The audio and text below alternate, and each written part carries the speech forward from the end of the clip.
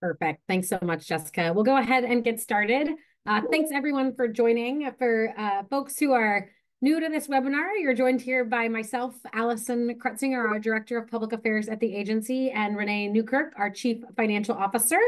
The purpose of today's conversation is to, today's webinar is to provide you an overview of what was included in the governor's uh, 24 proposed supplemental budget that he submitted to the legislature in late December. As a reminder, his budget is built uh, after agencies submit our decision packages. If you joined us in September, we did a very detailed overview of all the decision packages we submitted.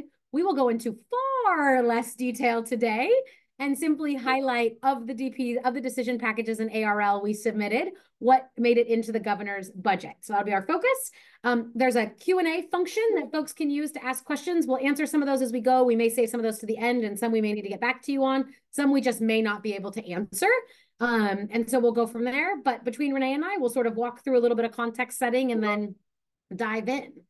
We want to go ahead and go to the next slide. Uh, so this may be familiar to some, new to others. This slide is really how we think about the timeline and the intersection of state agency land. We're one of those at DCYF. Uh, the governor and Office of Financial Management are bosses and authorizing environment, with you, with if you will, and then green the legislature, another authorizing body that we all uh, get to adhere to. Um, but these are the three sort of branches and, and entities that intersect with the process for the agency as well as stakeholders. We'll go through a more detailed agency process. Um, we are in January. We are at the fourth day of the legislative session. Um, and, and that's where we're at. So the governor submitted his proposed budget in late December, right in advance of the holidays. We've had time to analyze and unpack that. And now the legislature comes to town, Olympia, and contemplates uh, choices for their work. I want to go ahead and go to the next slide. As DCYF bills legislative asks, both funding requests and policy bills, we have a set of guiding principles that really guide our work. These are familiar and are not, should be familiar to those of you who have joined in the past, but we're really focused on uh, reducing racial and ethnic disparities in our outcomes and access to services across the DCYF continuum, prioritizing resources that focus on our core responsibilities as an agency, tethered to our outcomes and strategic plan, as well as provide prioritizing prevention and inter intervention solutions that prevent system penetration, keep children and families from falling deeper into systems of care or systems, and then looking at programs that have proven practices or research uh, as, as a backing for that. Go ahead and go to the next slide. So our, our process internally for a, for a set of asks begins well in advance of the legislative session. Our deadline, as you saw on the previous slide for submission to any governor's to the governor's office each year is, is in early mid-September. And so our process is iterative and ongoing and formally begins well in advance of the legislature coming to town and well in advance of the governor building his budget. Um, so you can see some of the steps that happen throughout the process uh, with internally and externally with stakeholders, et cetera. Won't go through the details, but I think this is helpful context and grounding. We can go ahead and go to the next slide. So I'll talk through a little bit of the realities and I'll turn it over to uh, my colleague Renee to talk through some of the budget and economic realities. But, but this is a supplemental year. So what that means is it is a short session, be it very fast, a short session, 60 days. We uh, in the state of Washington operate on a biennial budget, meaning they come to town they would have done this last year. They'll do this next year and contemplate the biennial budget, the budget for the next two fiscal years of state government. Fiscal years start on July 1 and run through June 30 of any given year. So last year, they, they built the biennial budget for fiscal years 24, the fiscal year we're in, that began on July 1, and fiscal year 25, the fiscal year that we, will begin on July 1. So the supplemental year session is really intended to be a year of tweaks, modifications, updates to caseloads. Are there revenue updates, more or less revenue coming into the state? Do spending adjustments need to be made, etc. This is not a moment for innovation and big and bold and new, uh, as our authorizing environment directions tell us. This is really about tweaks and modifications. Um, in addition, another reality that DCYF grapples with is we are implementing significant investment and policy change in every corner of this agency over the last number of years.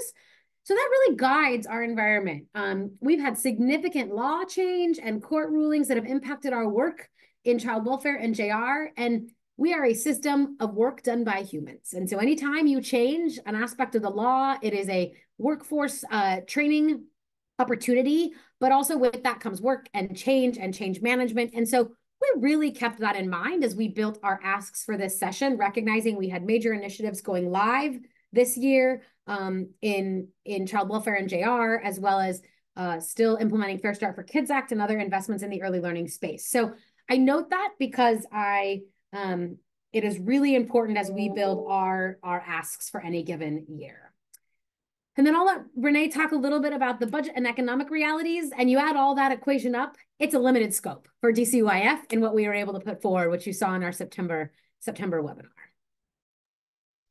Thanks, Allison. Good afternoon, everyone. Um, I'll just note regarding the budget and economic realities, there was an increase in the forecasted near general fund revenues since the 23-25 biennial budget took effect in July. The forecasted near general fund revenues increased by over $2.9 billion over the four-year outlook period. However, despite the positive trends in revenue growth and other economic factors such as employment, personal income, um, et cetera, caseload costs have gone up for many entitlement programs.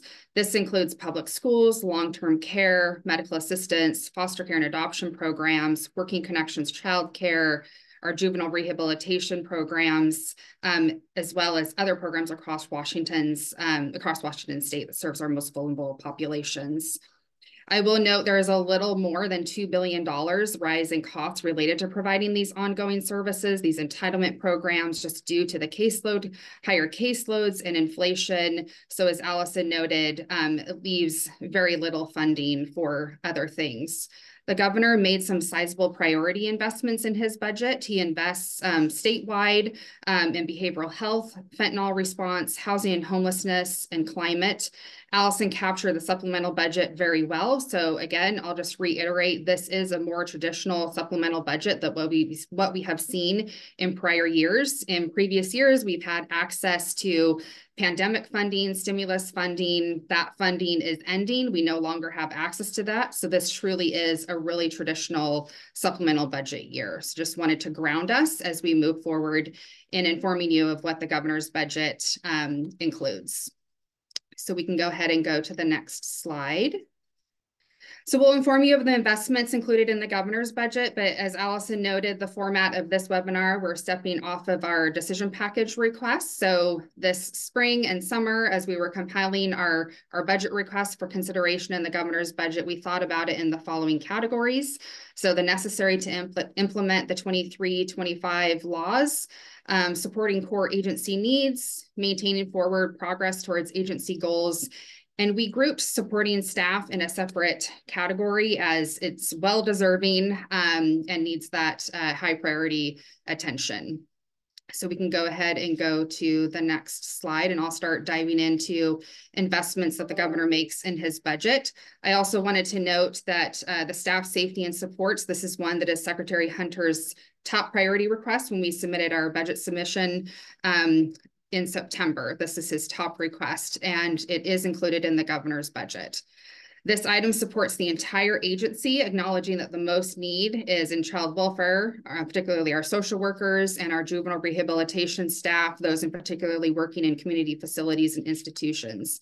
With a change in our population, we're serving more children and youth with complex needs in need of mental and behavioral health supports. The number of trauma incidents to our staff is increasing, considering those that we're serving. So this item provides support to our staff managing not only the, the incidental uh, significant trauma, but also just the day-to-day -day crisis um, that's experienced through our work. So the governor's budget funds the mental health professionals um, for our staff and funds uh, program specialists to train and support crisis response and funds uh, staff to support the safety needs. So we can go ahead and go to the next slide.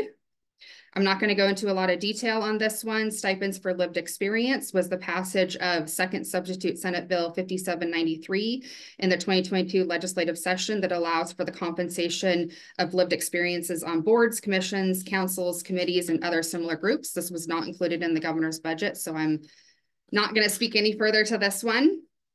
We can go ahead and go to the next slide.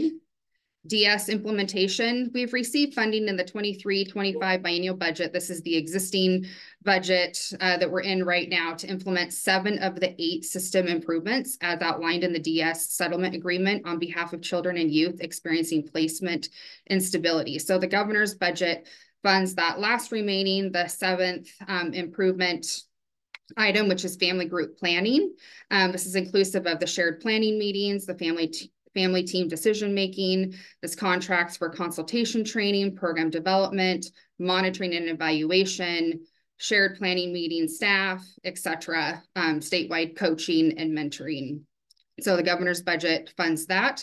The agreement also requires DCYF to develop new placement settings for children and youth that are experiencing the instability. Therefore, we need the supports for um, to support our rate setting and the payment workload associated with that. So the governor's budget also funds that as well as funding to pay our legal fees. So we can go ahead and go to the next slide. Emergent placement services. Emergent placement services, this is a short-term placement provided when no other placement is available for children and youth with intensive support needs otherwise known as EPS. EPS was established by the legislature in 2018. The rate is outdated. We have not received a rate increase since this service was established. Therefore, the governor's budget provides a rate increase to fully cover the cost of this service. Uh, the current rate is $9,267 per month per child. Um, and it, the governor's budget funds that at $13,413 per bed per child. So we can go ahead and go to the next slide. Not going to go over this one in a lot of detail. Um, FRS is a voluntary program serving adolescents and youth in conflict with their families with the goal to reunify and strengthen the family. The request was to transition to a community-based prevention. This is not included in the governor's budget, so I'm not going to go into any further detail regarding this item. So we can go ahead and go to the next slide. The basic foster care maintenance payment increase. This increases the basic rate for foster care maintenance payments to licensed caregivers. The rate covers food, clothing, housing, and personal incidentals. The 23-25 budget included a $50 increase to the basic rate. However, that does not fully cover the cost of inflation. So based on a cost analysis, the governor's budget um, increases this rate. Uh, the, the increased rate is birth to five, an increase of $73 per month per child. Age group six to 11, an increase of $254 per month per child. And for ages 12 and up, an increase of $174 per month per child. Okay, we can go ahead and go to the next slide. I'm not going to go into a lot of detail on this one either. Um, the agency had requested to pay a housing supplement to our EFC population. This is not included in the governor's budget, so um, I'm not going to go into any further detail on this one. Independent living investments. The independent living program is a voluntary program that's designed to teach important life skills to current and former foster youth. The governor funds sustaining the independent living program. This program is funded by a federal grant. However, that grant is allocated to states based on the population, the relative share of children and youth in foster care. So as our caseloads and population is decreasing, our federal funding is also decreasing. So the governor provides backfill funding to sustain this program. The governor also funds sustaining our adolescent transition program managers. The 21-23 budget provided one-time funding for statewide program managers, and uh, that was one-time funding. So the governor provides the funding to continue and sustain those program managers. So we can go ahead and go to the next slide. The governor also funds some technology investments the SSPS replacement system. The SSPS system, it generates invoices to pay our providers, uh, tax reporting, generates letters and notification documents, etc. It's a really old, antiquated system. It's reached its useful life. So the governor's budget funds a feasibility study. And once that feasibility study is completed, then we would know what is the resources needed to develop and create a successful SSPS system. So that uh, feasibility study is funded in the governor's budget. So we can go ahead and go to the next slide. The governor's budget funds uh, what we refer to as a CWIS. This is a child welfare case management system. CWIS is a comprehensive child welfare information system. It's a case management system, as I noted, for the child welfare program. We had um, requested this as a placeholder as our uh, feasibility study was being completed. That feasibility study has been completed, and we do now know the cost uh, to implement a successful case management system in child welfare in the governor's budget fully funds that uh, for the current biennium in fiscal years 24 and 25. All right, so uh, before I turn it over to Allison to walk through investments we received in early learning and juvenile rehabilitation, I'll just pause here for questions. Allison, I'll also note I'm having a slight uh, technology issue. I'm not able to see the, the questions, uh, so maybe some additional assistance is needed here. Excellent. Thanks for flagging that. I will, so far there's only been one question and it was if they would be, if these slides and recording would be posted. So I typed an answer in the chat. They will. If there are other questions that come in, Renee, I'm happy to read them out loud and you and I can sort of tag team answers. So thanks for flagging. Um, so I'm going to walk through investments uh, in the early learning and uh, child uh, uh, childcare space as well as JR. In addition, uh, some of the other investments in the governor's budget. Uh, does the slide indicate? Sorry, can we go back two slides to the SSPS? Renee, there's a question. Does the slide indicate the SSPS feasibility study will cost $5.5 million? Yes, it is the feasibility study, and I'll also note there are some, a couple additional costs needed um, in compliance with our OCIO regulations. Um, so we can get more information, but it is to implement uh, the feasibility study. So it's all related and tied to the feasibility study. Perfect. All right, we can go back to childcare. So we'll go fairly quick uh, through many of these. The governor's budget did not invest in any of the elements uh, included in the Making Childcare Work for Families pot. So we can go to the next slide. Similarly, we did not see investments from the decision package around supporting providers uh, for childcare access. I will note, we'll talk about in the other investments, there is some childcare contracted slot language tethered to the fentanyl response. So similar to something we proposed here, but slightly different. And so we'll talk about that uh, down the path if we want to go ahead and go to the next slide. Um, we had an ECEAP entitlement DP that contemplated rate increases, slots, and quality supports. The governor's budget partially funded the rate increases asked for both in school day and working day at 6 and 10% uh, relatively for school and working day slots. So we see a, a rate increase in the governor's budget for ECEAP slots. Go ahead and go to the next slide. The governor's budget did fully fund the coordinated recruitment and enrollment ask that related to the passage of uh, House Bill 1550 concerning transition to kindergarten last session. So we see full funding for the coordinated recruitment and enrollment efforts uh, on the DCYF side there. Go ahead and go to the next slide. We have one piece of agency request legislation related to the monthly count date for early support for infants and toddlers. Um, and so that legislation was approved and funded in the governor's budget. Actually was heard on Tuesday because in this short session, there is no rest for the weary and there is no time in the batter's box to warm up. We are just going. Um, we are headed right in. So that bill uh, is, is on its way uh, moving forward and was funded in the governor's budget. Go ahead and go to the next slide. I'll talk a little bit about some of our uh, JR investments. So we have, uh, uh, we had some security asks specific to Echo Glen, additional capacity on site for perimeter support and other pieces as the perimeter fence is under construction. That was funded last year in the capital budget. So you see this decision package uh, was funded by the governor um, as we as we mitigate some of the security, the public and focus on public safety and security at Echo Glen. Go ahead and go to the next slide. We also had a decision package requesting resources to stand up a administrative hearings unit inside DCYF related to transfers from JR to DOC for young people who may not yet be 25, but are either wanting to go back or we're recommending uh, would be better served by the DOC system. And so this was a result of a settlement uh, that we were part of and um, was uh, uh, included in the governor's budget. We're happy to report. Go ahead and go to the next slide. Um, so other investments I indicated will highlight some of the other investments responding. Uh, this slide specifically responds to some of the opioid crisis, the fentanyl crisis. We're pleased to see investments in ideas really generated from uh, stakeholders, the field, uh, and how we continue to support the the safety of families, children remaining with their family, while also grappling with the fentanyl pandemic that many of us are experiencing.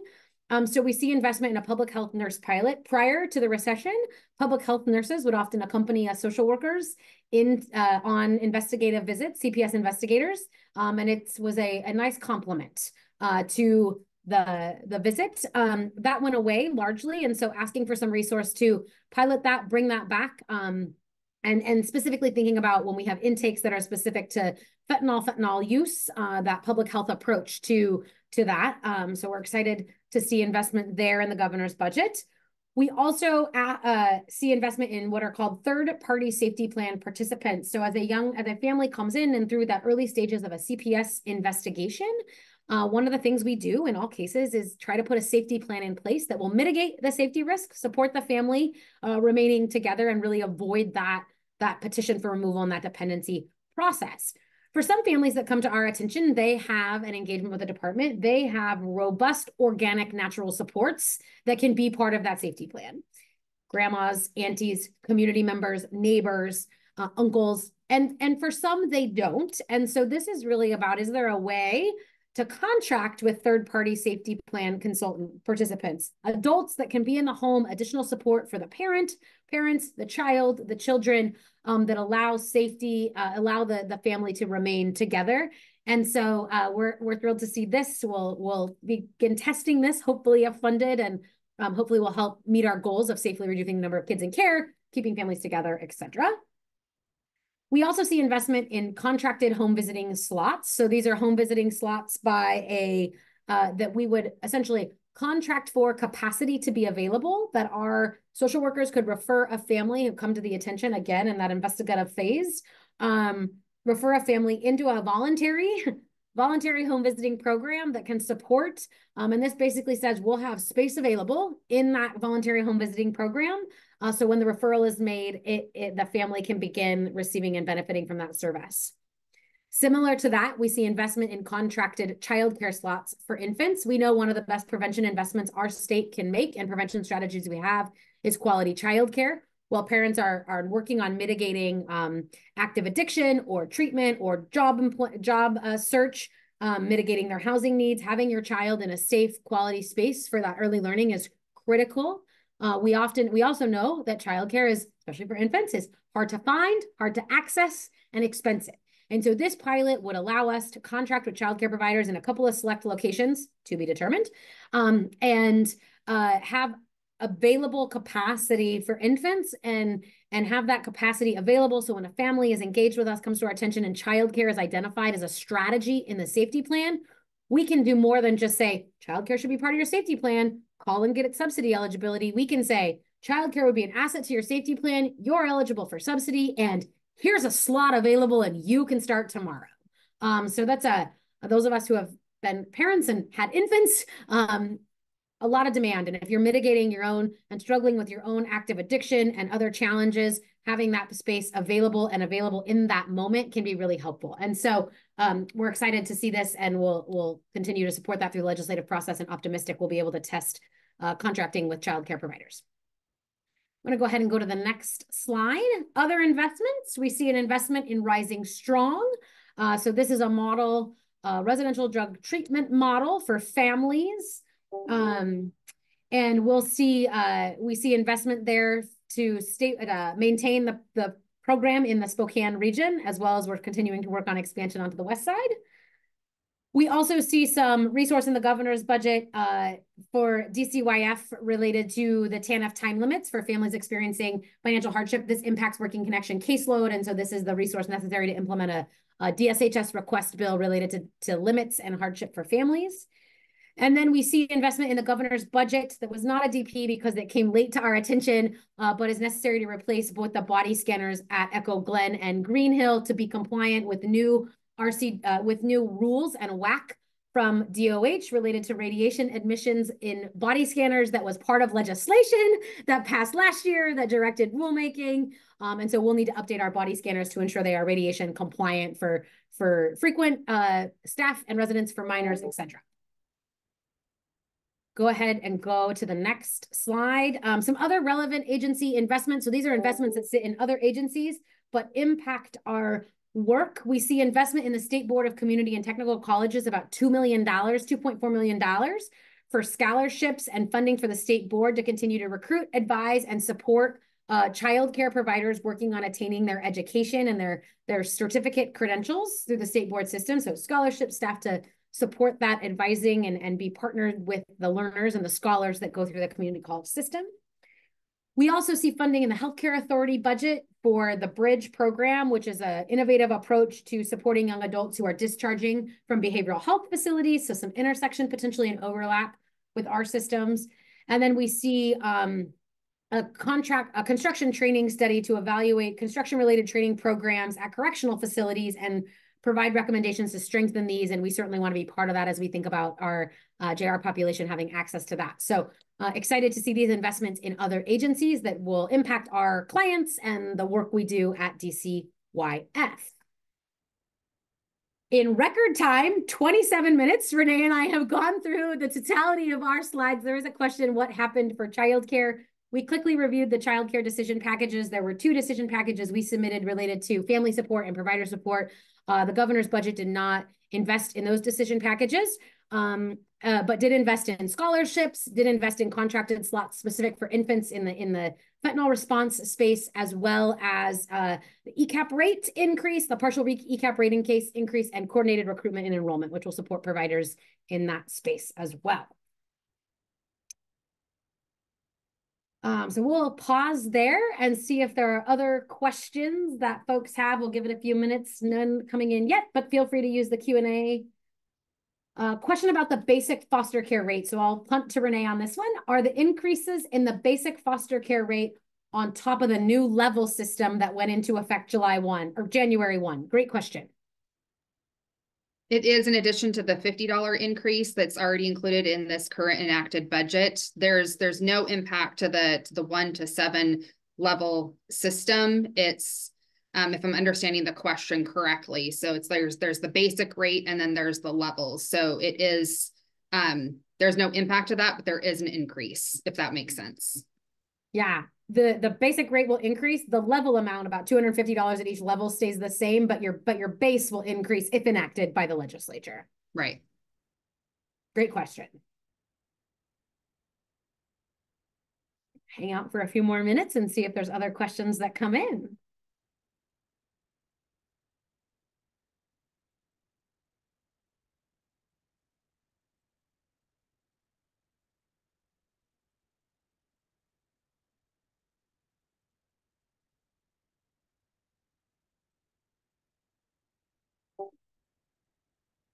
what were the bill numbers you mentioned? Um, we have agency request legislation related to the early supports for infants and toddlers.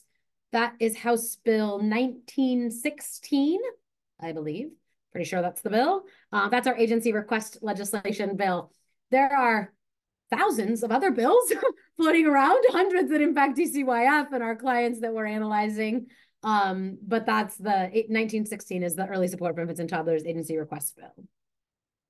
What about the details about reunification services that were not funded? I think you're talking about the family reunification services decision package, the FRS DP to move to community based that was not funded in the governor's budgets.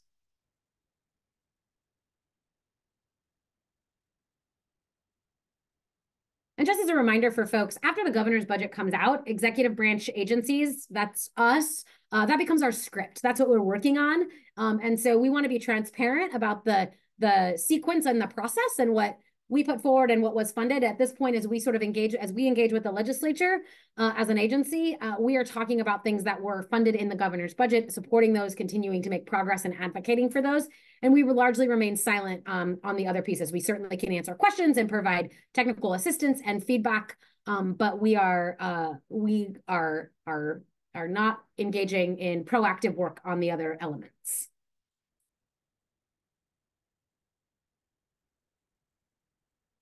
Those are the rules of the game. Give it a few more minutes and see if there's any other questions that trickle in. And as folks are uh, sort of choosing to hop off as we've sort of concluded, thank you all so much for coming. I'll just note, um, appreciate your interest and engagement and, and do feel free to reach out if there are additional questions.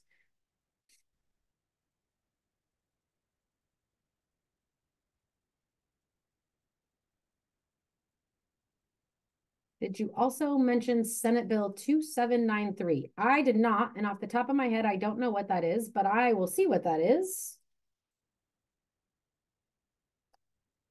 2793 is not a bill number that is found.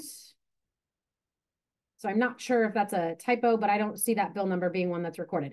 What was budgeted for childcare working connections? There were no adjustments to working connections uh, in the budget other than maintenance level caseload adjustments, which Renee spoke to as sort of the general approach to caseload adjustments.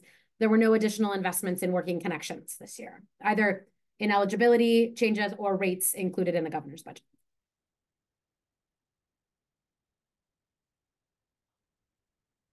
Correction, 5793. Perfect. Let me see what that is. I, the title of that bill is called Concerning Paid Sick Leave. I don't have any information about that bill, so that's not one that that we mentioned. I think maybe um, there was mention of a bill number from last year. That was a bill that passed last year related to stipends for lived experience that has similar numbers, but not in that order. but I can't remember that. That might be 5397 or 5379. Uh, that was a bill that passed in the 23 legislative session um, that we had a DP that corresponded with that also was uh, not funded in the governor's budget. These slides will be posted as well, so that information will be um, available on those slides.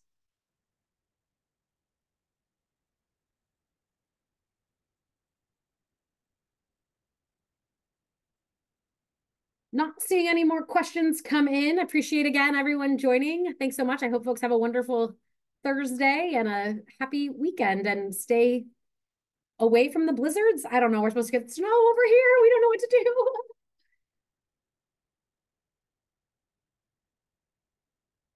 Excellent. All right. Thanks, everyone.